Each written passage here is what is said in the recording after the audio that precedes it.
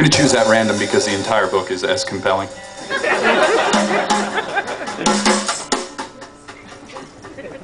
The best players, Joe Edley tells me, are focused on the goal of winning. Because all else becomes less important. Every other behavior is extraneous. Remember, we're talking about Scrabble. Every behavior you display while you play should be the focus of winning. Otherwise, why are you there? Well, he says, answering his own rhetorical question. A lot of other people are there for other reasons. And that's why they don't win.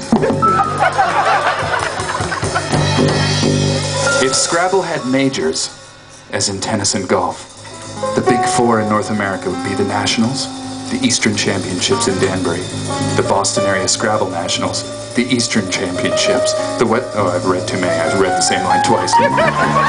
and the Western Championships in Reno, Nevada. The Nationals, Danbury. What the hell? Suffice to say, it's not about the money. The Nationals pays 25000 to the champion, but first prize in Waltham is only a few hundred. The glory and prestige of winning a major is what really matters.